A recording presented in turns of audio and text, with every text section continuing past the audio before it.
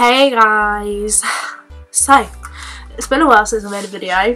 Um, I am making a video today that is a little bit different from normal. Um, and I've moved location as you may have noticed. I um, have been fed up of the fact that I haven't been able to work out a way to factor in all of my lovely stuff going on over there because normally I film where the computer is um, because that's just the easiest place to put the camera. Um, but obviously that area there makes the nicest thing to look at behind me. Um, so I decided that um, I would try and spend some time work out how to do the setup so that I could keep that in. Um, this video was supposed to be on the 1st of December because it was supposed to be the first video of Vlogmas but I have um, I've had tonsillitis and I still sound like I've kind of got my mouth full a little bit but I thought as I'm feeling a lot better than I did over the last few days I would just take go for it and make the video. So this video is a little bit strange. It's kind of like a haul video and it's kind of like a favourites but then the favourites part isn't from like the last month or whatever. It's just from whenever really from like what I actually just really enjoy all the time um, or just recently. So it's not really time, it's, it's really a, a little bit looser than a monthly favourites and it's not really a haul video either. It's just kind of a bunch of stuff that I've got sat next to me on the bed that I like basically. So shall we get started? Okay, right. The first item I have been loving recently is this, which is my hot water bottle. Um, it is furry and fluffy and it's like two dual fibre so it just looks really cute. Um, and yeah, basically it's been on it, it's on my bed all year round. It made it like a decoration, makes it look really cozy. And the like the other week I just thought to myself, oh I need something to just warm me up. And I thought, don't you have a hot water bottle? Yeah, I do. Where is it? It's right there on the bed. Every single day I make my bed and there it is. And I never really kind of made the connection with the fact that it's actually a functioning hot water bottle and not just a decoration. But since I made that connection, I have been loving this so much. It's a must-have. You must have a hot water bottle for the winter.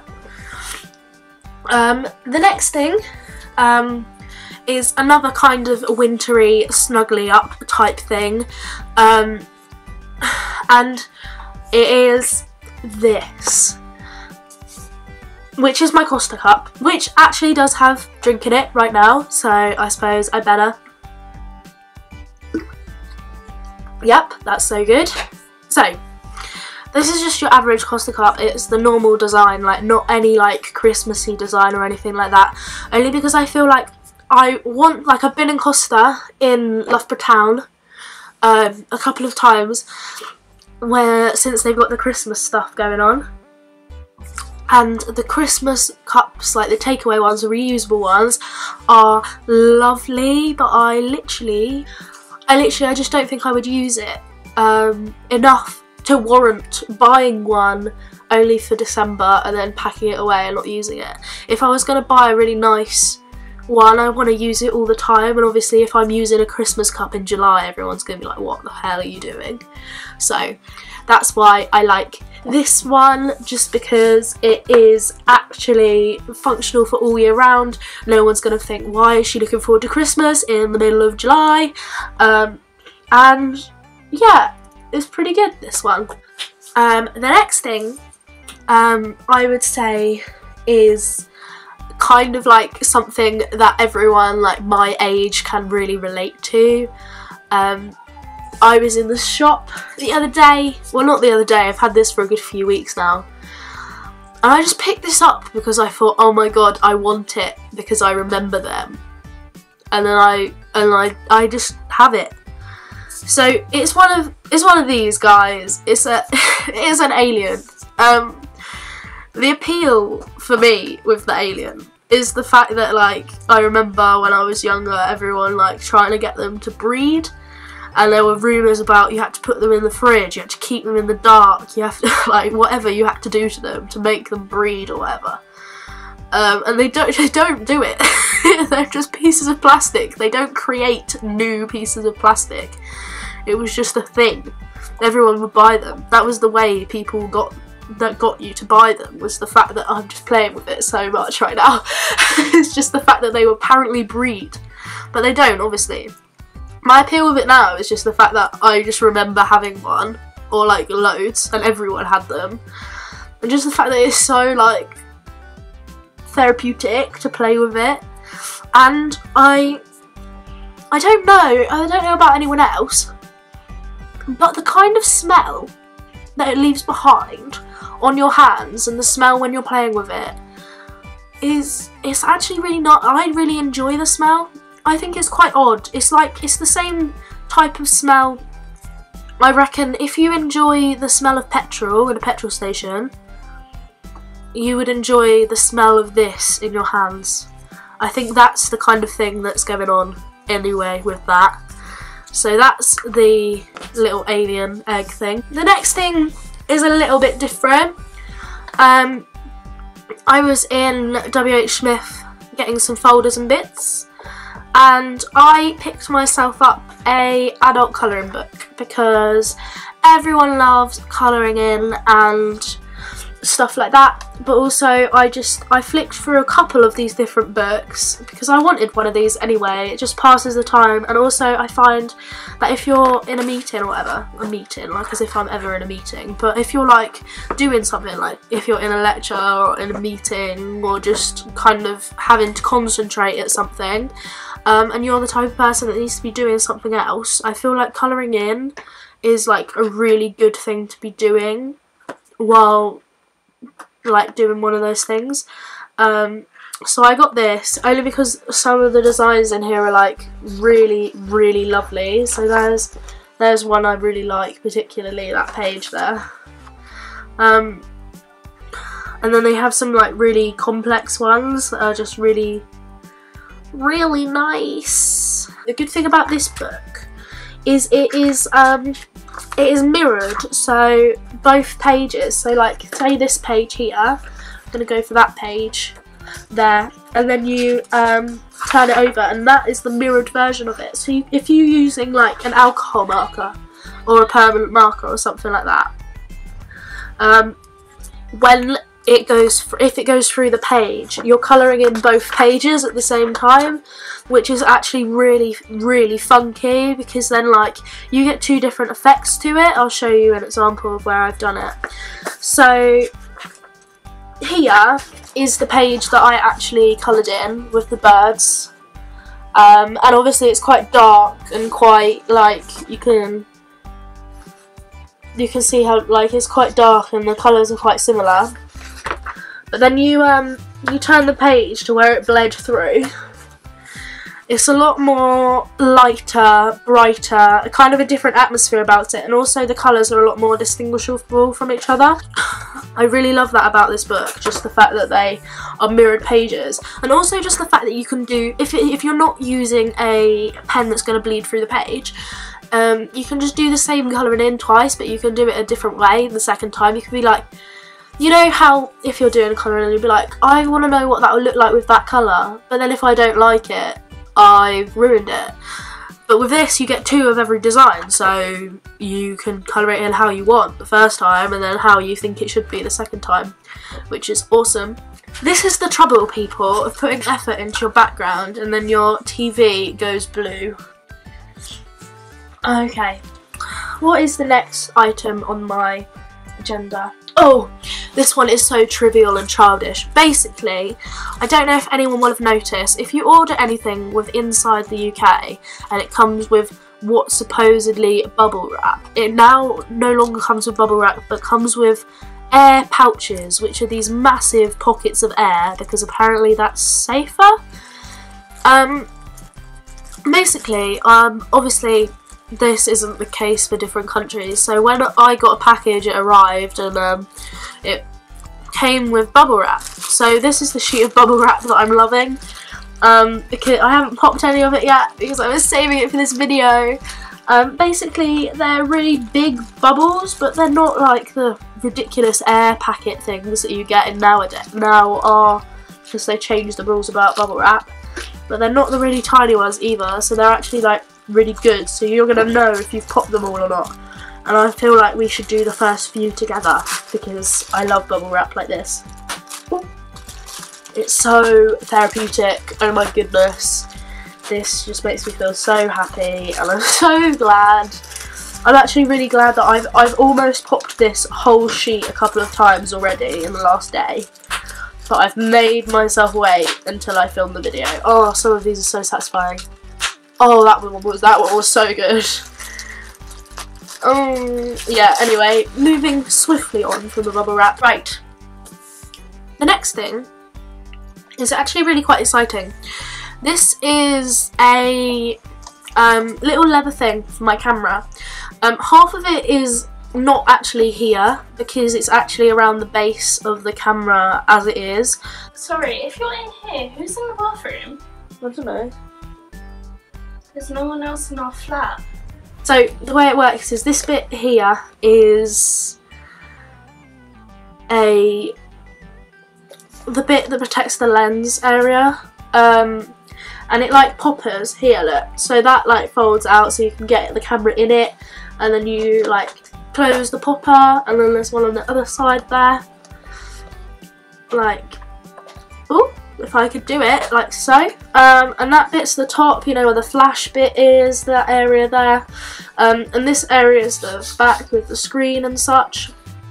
And that like that bit then attaches to the the base area. And the base area is still on the camera at the moment because it has a little screw thing that screws into the area where the tripod goes which attaches the little lever thing to the camera on a permanent basis and then this bit this whole little bit that assembles with poppers just poppers on to the base part. Here it poppers on.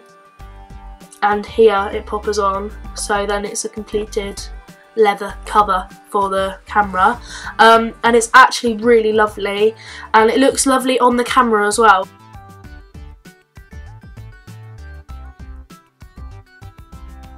But the um, the cover on the camera, the little leather bit around the edge and the base makes it just look so really nice.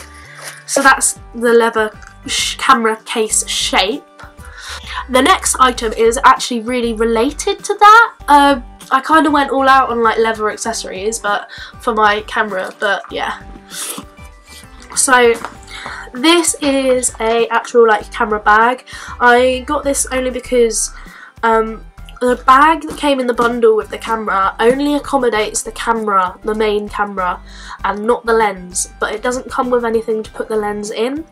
So basically, if you want to store the camera in a safe way, you have to take the lens off and carry the lens just loose randomly. I feel like the, the lens is more delicate than the actual main camera is. So I got this, um, which is just a camera bag. I feel I feel like it's really lovely just because um, I can use it, I can walk around but not feel like I am a tourist like because obviously you see a camera bag normally and you you recognize it as a camera bag and think oh yeah like touristy.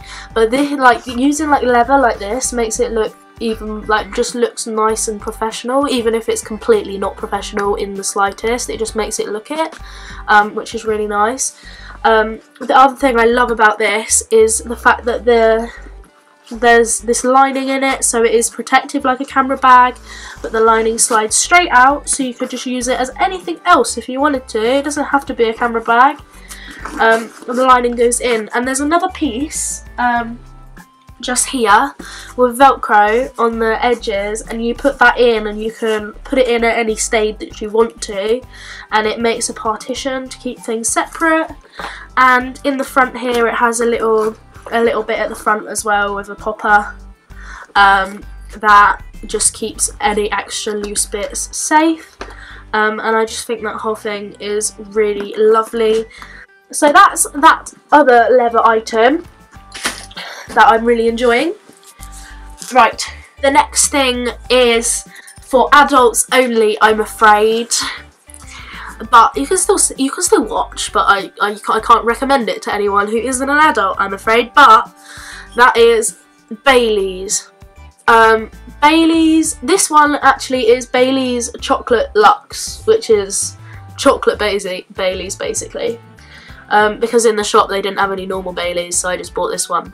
The reason I'm so in love with Baileys at the moment is because um, it was introduced to me that Baileys and chocolate milk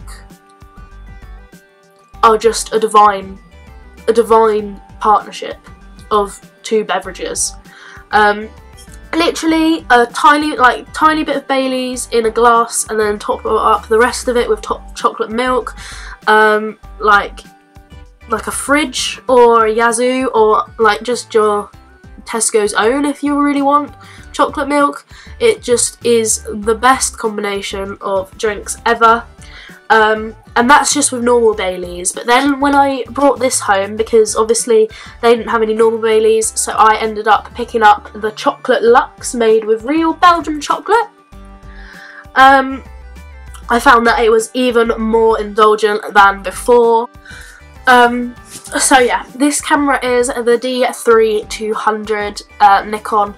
Um, and obviously I found more and more as I tried to vlog with it that it was just ridiculous to hold in front of my face and film um, because it is such a large camera like literally it is it fits in this this leather case so I imagine me walking around like this with a massive camera obviously with not just a hollow piece of leather but actually heavy camera so I decided that if I was going to actually do outside vlogging where I take you guys along with me places, I would need a little compact item. So I went for another Nikon because since having this one I like I like Nikon obviously you get into a brand that you like um, I've had this conversation with my boyfriend all the fucking time because he prefers Canon um, but that's just our personal preferences so obviously I'm, I just bought another Nikon. Um, so I had that um, and obviously it didn't come, it wasn't quite right so I've sent it off. Um, so that means that long story short, because I've just rambled a hell of a lot, just to tell you that most of the, the Vlogmas is probably just going to be sat down videos because I don't have a camera to actually vlog with because I just sent it back to be repaired sorry that there have been a lack of videos. Hopefully I'm gonna generally get more on board with it now as well. Um, not not discounting Vlogmas because obviously I'm aiming to put a video up every single day. Um, but outside of Vlogmas, I am going to be more on board with this and I'm probably going to sit down with myself, think out a plan because at the moment I just upload as and when but what I'm actually going to do now is I'm going to make up a plan, um, decide on a day of the week and decide on a time in the evening by which all my video, like the video will be live at so that rather than it just randomly going up at the middle of the night or in the middle of the day, in the middle of the week randomly, no schedule at all. Hopefully there'll be outside of vlog outside of Vlogmas they'll be up weekly on whatever day I decide and um at like it's probably gonna be like 7 or 8 o'clock that they go live on YouTube um in the evening which will be lovely actually if I could get my ass in gear enough to be able to say yes I'm going to upload every blur whatever day and it's going to go up at 8pm like Great British time um, but yeah, hopefully that's the plan. I feel like I've probably bitten off more than I can chew, but hey, it's Christmas. We've got to give these things a go. Um, so, that is everything from me today. If you liked this video, please press the thumbs up button and if you want to see more of this kind of thing, subscribe. I will see you tomorrow for the next day of Vlogmas. And